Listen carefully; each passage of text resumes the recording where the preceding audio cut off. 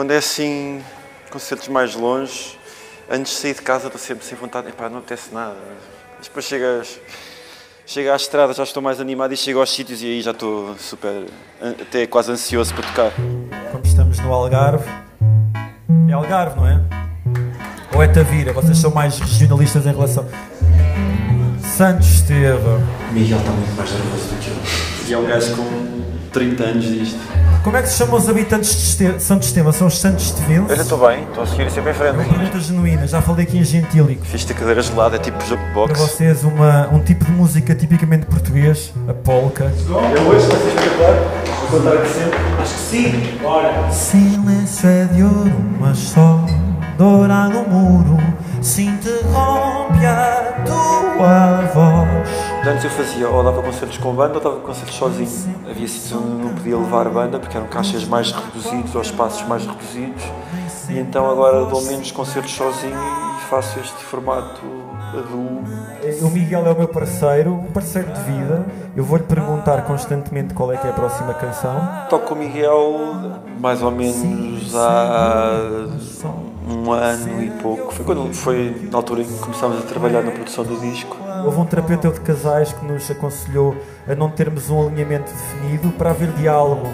E a minha espontaneidade não está propriamente dependente da região nem das pessoas que estão à minha frente. Quer dizer, se eu estiver em Trás-os-Montes e tiver uma história sobre Trás-os-Montes, vou contar essa história. Portugal sendo um país pequeno, é como a questão do vinho, tens, tens vinhos muito diferentes de região para região. Notas isso também no, no público, se calhar cada vez menos, não sei, porque também as pessoas comunicam com mais facilidade entre elas, as influências, eh, existem fórmulas até de estar num concerto que, é- que são muito mais comuns. Todos os meus alinhamentos, há, há canções que fazem um bocado parte de uma espécie de best-of que estarão em quase todos os concertos. Este concerto no Tivoli também ainda é um bocado o rescaldo de um ano de promoção deste último Carga de Ombro e é natural. As canções do Carga de Ombro, até por serem as mais recentes, serão um bocado o chamariz e a força motriz do próprio concerto.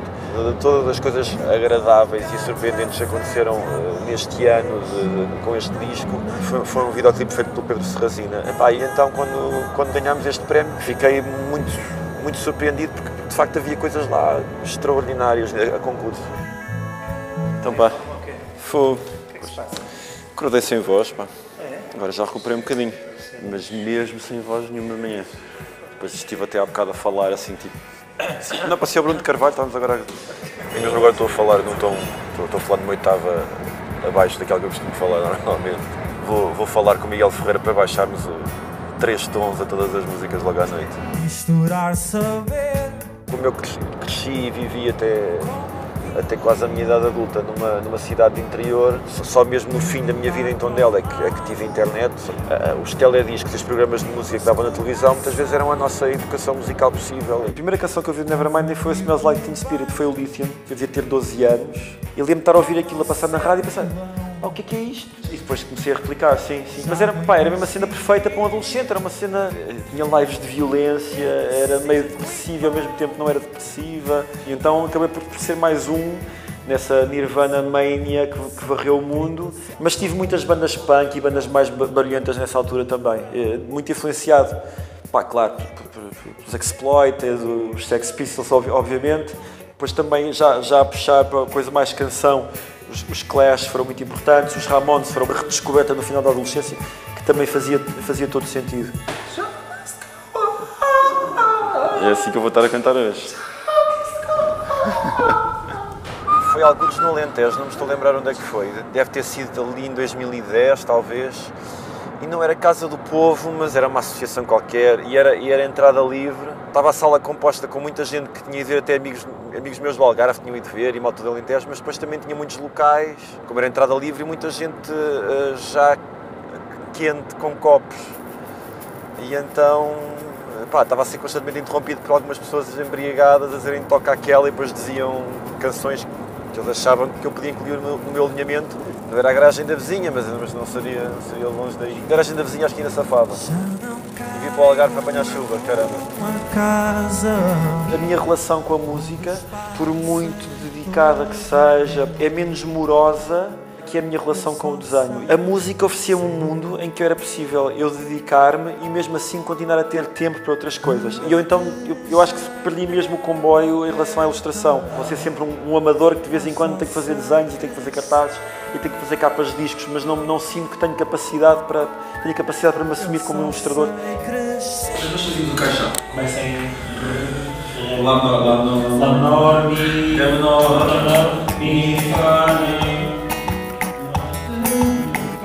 Flacaveira nasce em 99. O Tiago, Guilul e eu, que éramos os, os membros originais da Flacaveira que faziam música, passados pá, quase 20 anos, é mais fácil conseguir encontrar explicações para uma espécie de tensão criativa com que a coisa eh, se desenvolve, que é, é, é o passado das bandas punk, as bandas hardcore e as bandas barulhentas e uma ligação muito forte ao rock and roll depois ao lado folk e depois também uma, uma espécie de descomplexidade uh, musical e de gravação que tem que ver não só com a malta low-fi que nós ouvíamos, como também, epá, isto, isto, pode parecer ridículo, mas tem muito, muito a ver com a música pimba que nós também gostávamos.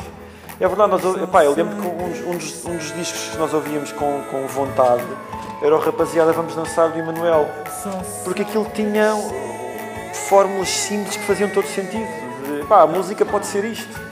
E isto tem uma mensagem, isto chega às pessoas, isto é divertido. E depois também acho que tem, tem que ver com o, lado de queremos recuperar uh, uma pujança que o português tinha perdido na pop nacional. Eu acho que parte um bocado de, dessa junção de mundos tão dispares, consolidaram-se numa cena que poderia ser entendida como nova todos os meus discos, sobretudo os dois primeiros que eu fiz com, com, eh, de estúdio, entre a gravação e a edição, houve sempre assim um grande espaço de tempo que me fez perder um bocado o fio à meada em relação a muitos aspectos promocionais do próprio disco, como seja ter eh, videoclipes prontos, pensar em singles para ter prontos eh, antes do disco sair. O primeiro disco que eu faço com, em, em parceria com o Valentim de Carvalho teve uma coisa que nenhum disco da Flacaveira tinha, tinha tido até aí, que é um planeamento de promoção.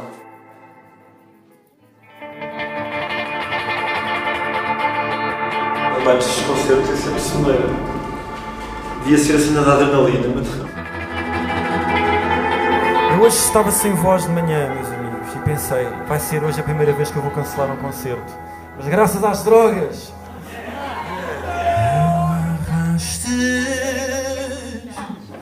o meu caixão.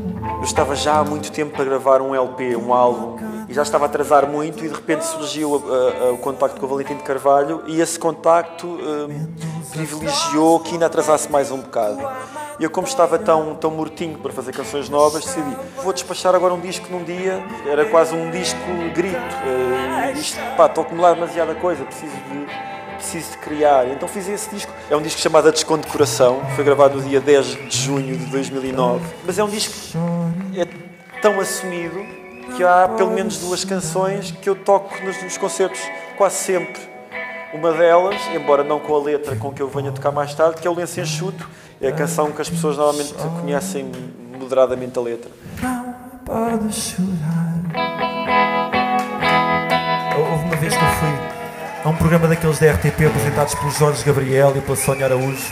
E entre duas canções, eu tinha, tinha tocado uma canção mais animada, aquela polca exatamente veio um assistente de produção perguntar-me se as pessoas que estavam na assistência podiam bater palmas ao som das minhas músicas, porque elas, elas gostavam muito de bater palmas. Eu disse sim, com certeza que sim. E depois toquei uma canção assim, super uh, depressiva, lenta, e era ver a cara dos senhores de idade a tentarem acompanhar. Vocês são valentes, acompanhar uma canção que eu jogava, jogava impalmável de forma exímia. Caramba! Eu nunca fui do prog rock quando eu componho acontece uma coisa que é muitas vezes componho a pensar nas vozes desses, desses cantores. Pá, tanto pode ser o Strummer, quanto pode ser o Tom Waits, como pode ser o Dylan, estão na minha cabeça. Eu depois não tento imitar as vozes, mas para escrever e as melodias está a ser escrito para as minhas influências. Mas quando escrevo para outras pessoas, o processo não muda, não, não, não muda radicalmente. Obviamente que há preocupações até bastante técnicas de pensar também na voz da pessoa, pensar na, na tonalidade dela mas eu também tenho, tenho o entendimento que quando as pessoas me convidam não querem que eu ande a modificar muito, alterar muito. E há certas características que me são uh, distintivas que as pessoas querem que estejam nessas canções e por isso me fazem o convite. Há duas canções do Caminho Ferroviário Estreito depois estava a gravar com o João Eleutério, estávamos a gravar num carro, num Fiat, num gravador de quatro pistas e ele disse, epá, tenho aqui mais não sei quantos minutos para acabar a cassete. E pronto, vou fazer uma canção, comecei a improvisar uma canção e que ficou é, com aqueles quatro minutos. E a canção acaba exatamente quando acaba a cassete. Já vivo só da música há, desde 2011. 2011 foi o último ano em que eu dei aulas. Eu acho que às vezes sinto falta um bocado da rotina de trabalho, porque parece um discurso, um discurso muito profissional e muito desapaixonado em relação à música, que devo esperar pela inspiração, etc. Mas, mas uh, a inspiração eu sei que chegará quando, quando, quando eu me predisponho a trabalhar para, e a estar atento para que ela surja.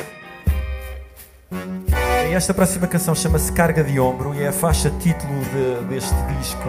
Oh! Estão-se a meter num sarilho. Que eu ia deixar passar, pronto, se quiserem cantar, cantam, se não quiserem cantar, não cantam. Já nem sei se. Há uma espécie de, de viagem mental quando estou a compor que é pensar que estou volta à tonela e, e a respirar um ar um bocadinho mais puro e, e onde o tempo rende mais. Tenho que me abstrair para fazer o tempo render e isso é muito tom de lenço da minha parte.